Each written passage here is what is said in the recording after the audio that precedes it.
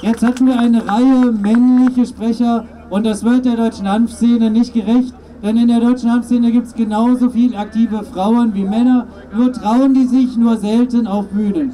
Es freut mich deshalb umso mehr, dass jetzt gleich zwei Frauen hintereinander sprechen. Als erstes Anne Helm von den Piraten, die ist aktiv in der Bezirksfraktion in äh, Neukölln, auch eine Bezirksfraktion, die sich für Cannabis Social Club stark macht. Anne, komm bitte zu mir. Anne ist noch relativ neu als Politikerin, aber sie hat schon eine ganze Menge Furore gemacht, weil sie mitunter Formulierungen findet, die den etablierten Politikern, vorsichtig formuliert, ein bisschen zu radikal und wagemütig sind. Wollen wir hoffen, dass es heute kein Handverradegate gibt. Viel Spaß mit Anne. Danke dir, Chefin. Ja, das ist jetzt das dritte Jahr, dass ich hier stehe.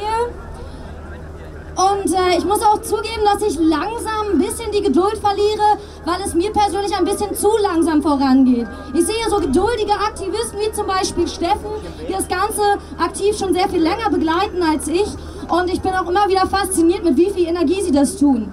Auf der anderen Seite haben wir jetzt schon mehrmals gehört von den kleinen Erfolgen, von den kleinen Schritten, die es immer weiter vorwärts geht, international wie auch in Deutschland. So zum Beispiel jetzt das Gerichtsurteil, dass es Schmerzpatienten von Cannabis erlaubt, auch zu Hause selbst anbauen zu können. Das ist ein großer Erfolg, auch für den Verbraucherschutz. Und ich bin sehr, sehr dankbar für die Menschen, die äh, selber Schmerzpatienten sind, chronisch Kranke, die sehr viele Strapazen und Repressionen auf sich nehmen, um ihre Rechte durchzukämpfen. Und ich bitte dafür einen großen Applaus, weil das sind die Leute, die hier auch für unsere Rechte, auch von Genusskonsumenten eintreten und gegen die Kriminalisierung sich stark machen.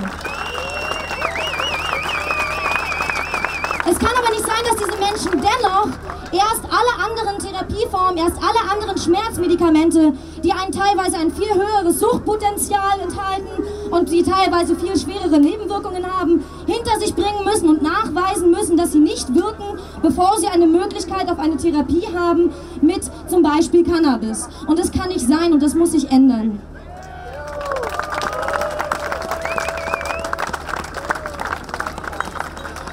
Kann auch nicht sein, dass diese Rechte dieser Menschen und der Kampf gegen Repression nur in Gerichtssaalen stattfindet und zwar durch die durchführt wird, die selbst schon durch Schmerzen und chronische Krankheit leiden müssen.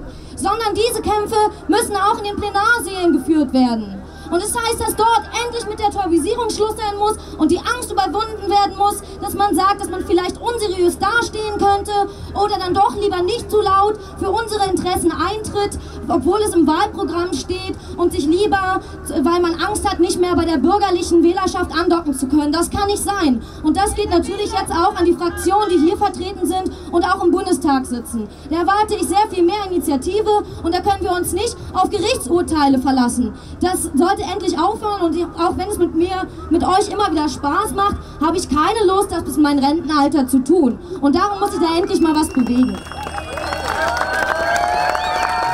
Ich habe hier noch ein schönes Bild für die Entkriminalisierung mitgebracht.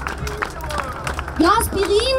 Ich finde, wir sollten auch in Zukunft dafür nicht mehr unendlich viel Geld ausgeben müssen in den Apotheken und äh, Repressionen ausgesetzt sein, wenn wir das nicht wollen und wenn wir selber wissen wollen, was wir rauchen und nicht Kriminelle unterstützen wollen, sondern ich kann euch dazu aufrufen, selbst anzubauen, wenn man ähm, sich sicher sein will, was man raucht und auch um den Verbraucherschutz zu stärken.